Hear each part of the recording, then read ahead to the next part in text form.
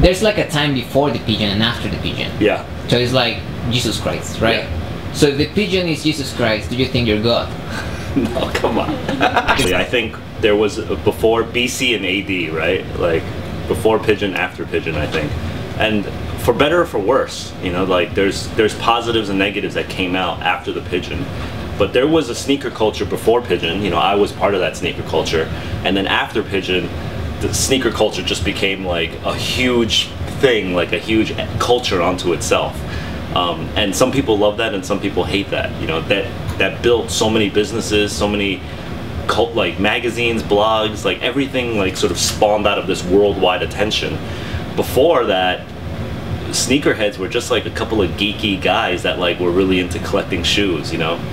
Um, so I don't know, eh, for better or for worse, but I definitely don't consider myself God just because of the pigeon. You know, before that, before that, sneakerheads would look at a collection from a brand and then pick out the key pieces. Or key pieces would come out on their own because of something that happened maybe with like an athlete or maybe a, you know something natural within the company, right? Um, the problem is now because of sneakerheads and sneaker culture. Now as you said companies are are making collections just for sneakerheads and sneaker culture but that's not what sneakerheads deep down really want.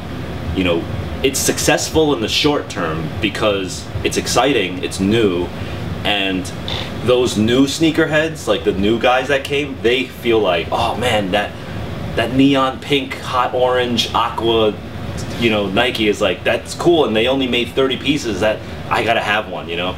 But like the old school sneakerheads like that's a very quick thing. It, you know it just goes away very quickly. It's very trendy